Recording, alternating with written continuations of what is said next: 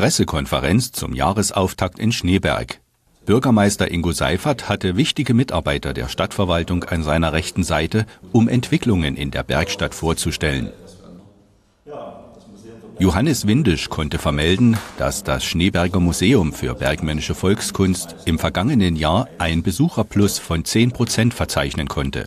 Nach 8.101 Besucher im Jahr 2018 zog das Haus in den vergangenen zwölf Monaten insgesamt 9.117 Gäste an.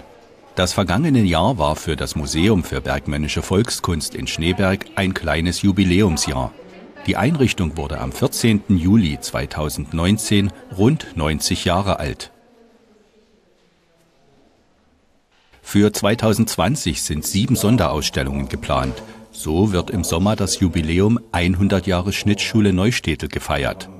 Im Herbst soll es eine Sonderausstellung anlässlich des 95. Geburtstages des 1999 verstorbenen Schneeberger Ehrenbürgers Werner Kempf geben. Der hatte den Großteil seiner Aquarelle der Stadt vererbt